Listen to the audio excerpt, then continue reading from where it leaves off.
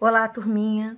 Eu sou a professora Márcia, do segundo ano, e hoje nós vamos iniciar os nossos estudos com o capítulo 4, Conscientizar para Mudar Atitudes, da página 86 do nosso livro de língua portuguesa.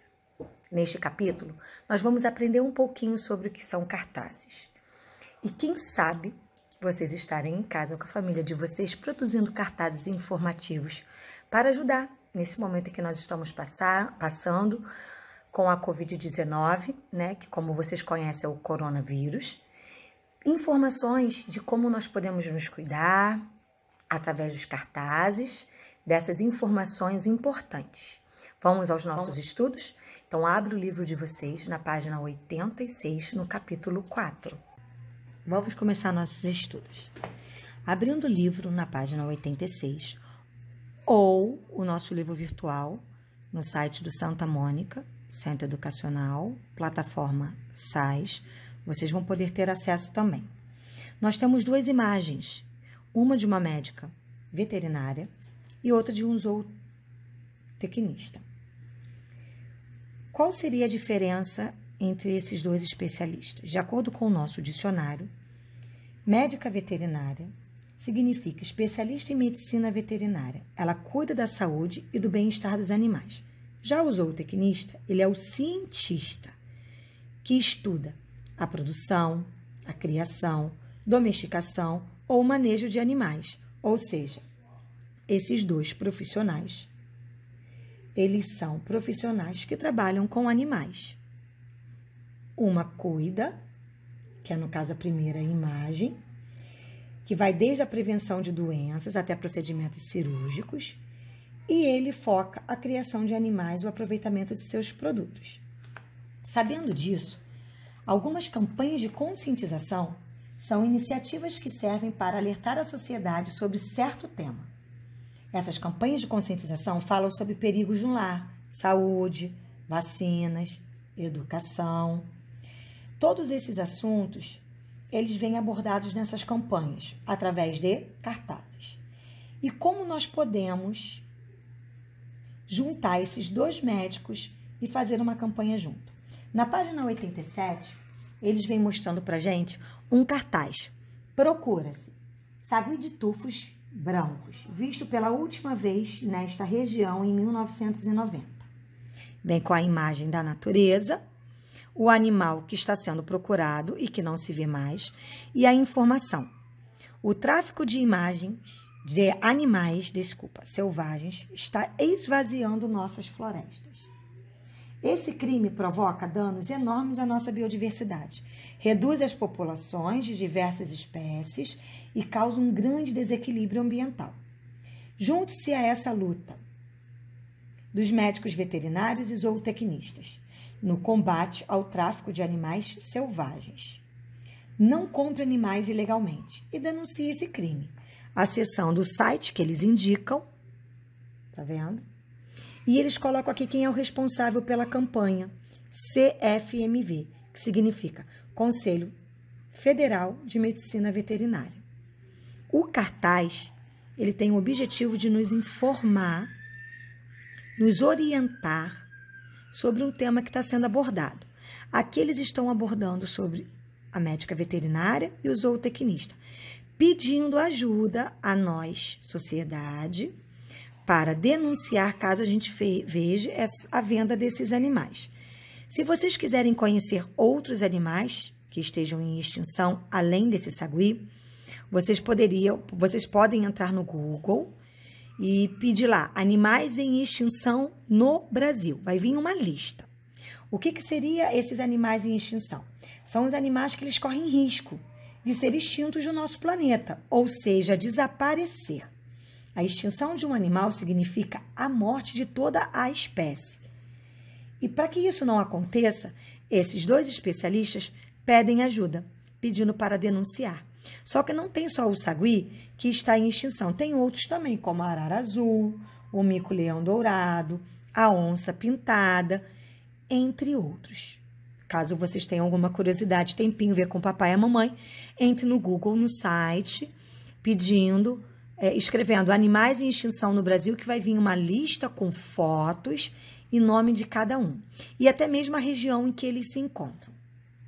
Esses animais eles estão extintos, como diz aqui no cartaz, ele nos informa, de acordo com a venda. Tráfico de animais, o que seria isso? A venda desses animais. Esses animais selvagens são os animais que vivem na selva. Está esvaziando nossas florestas, eles estão sumindo. Esse texto verbal vem para nos orientar e comunicar sobre o tema que está.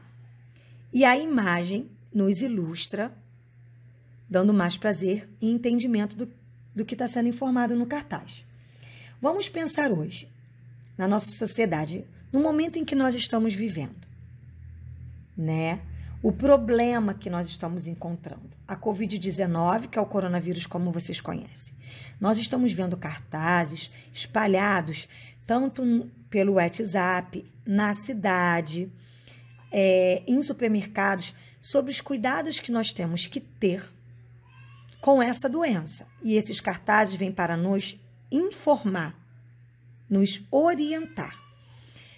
Dando continuação nas páginas 88 e 89, vocês vão ter exercícios que vão precisar fazer a leitura e às vezes estarem retornando ao primeiro cartaz, onde tem informações explicando qual o objetivo de cada uma. Façam com atenção e com calma. No 3 pede animais selvagens. Os animais selvagens, como eu falei anteriormente, são aqueles que vivem na selva. E os domésticos são os animais que são criados e, em casa, né, por pessoas. Eles são cuidados por nós, humanos. E tiveram características físicas e comportamentos alterados pela nossa criação. Vocês vão ler com atenção, responder as perguntinhas. Na página 96, nós temos a capa de uma revista. Vocês vão ler e analisar esta capa para dar continuidade nas questões abaixo. Já na 97, vem informando: assim como super, existem outras partes que podem ser acrescentadas ao início de uma palavra para formar outra, com um novo significado. Veja os exemplos.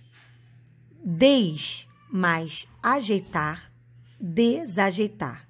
Da palavra ajeitar, acrescentando desde no começo, nós conseguimos formar o antônimo da palavra ajeitar, desajeitar.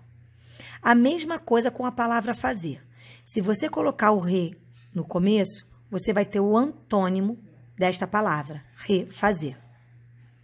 Contra, mais tempo, contratempo. Vocês vão responder esses exercícios de acordo com esta orientação.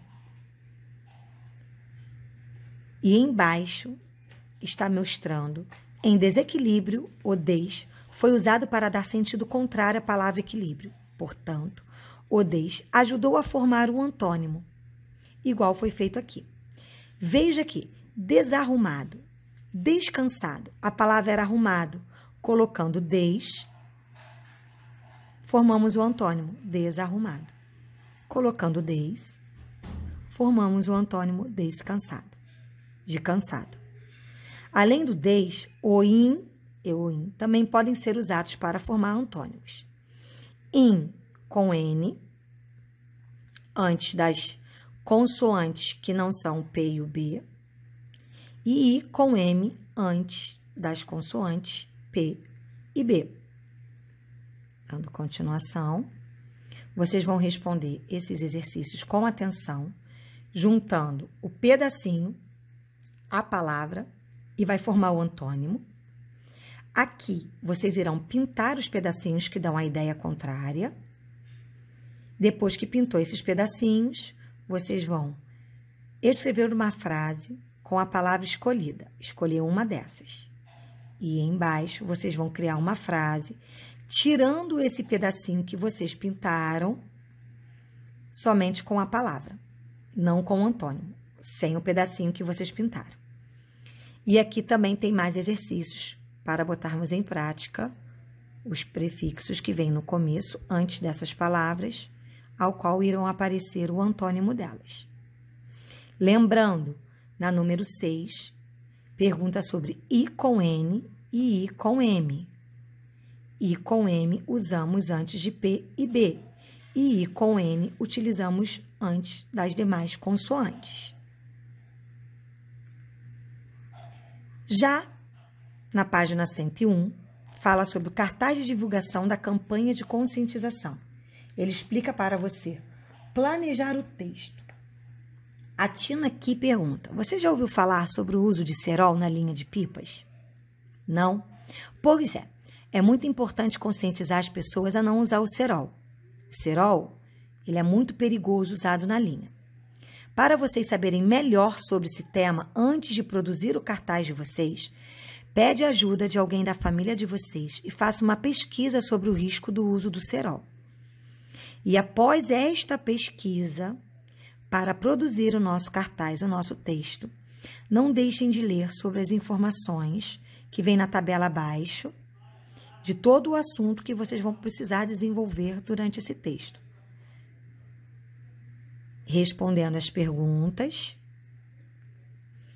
E na página 102 vem um modelo de cartaz que você vai precisar usar. Informação em destaque, que é o tema do Serol. Tá vendo? Convite para que as pessoas façam parte desta campanha. A forma como as pessoas podem denunciar o telefone, que aqui indica os números usados para denunciar o uso do cerol são 153 ou 190. Vocês podem estar acrescentando esse número.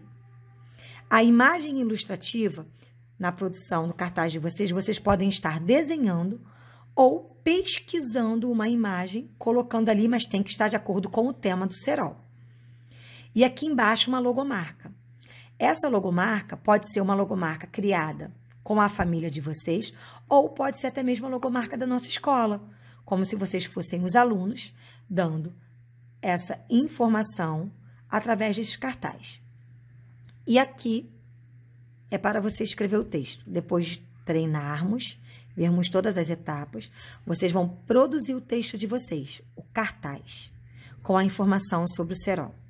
Depois de pronto, vocês vão revisar o texto de vocês respondendo sim ou não, com esses cinco itens aqui. Está claro que o cartaz é contra o uso do cerol? O cartaz que você produziu ficou claro? Ele tem o texto, no texto, imagens, logomarca, tudo que foi pedido aqui. Marca sim caso tenha, e caso não tenha, marca não. Se não tiver, pense no que pode ser mudado. Avalie o que, que você pode estar fazendo e refazer essa parte que ficou fa faltando. Na página 104, nós temos outro tema para divulgação, que é a vacinação. Vocês vão ler com atenção. Nessa, nessa página, nós temos um QR Code aqui. Vocês podem estar junto com o papai de vocês, fazendo a leitura deste código, para, para estar visualizando o vídeo que está disponível para vocês sobre essa campanha de vacinação. Depois de vocês assistirem esse vídeo com esse QR Code, é bem facinho, pede ajuda do papai de vocês, instalar o QR Code no celular caso não tenha, faz a leitura do símbolo aqui, aí vocês vão estar assistindo a campanha e vão poder estar respondendo essas perguntinhas. Aqui nós estamos vendo sobre um artista plástico britânico, Robert. Ele também ajudou fazendo uma campanha não usando cartaz. Ele usou uma escultura para a questão do aproveitamento do lixo. Tudo que iria jogar fora, ele juntou e fez um coelho. E aqui ele propõe você em estar fazendo isso.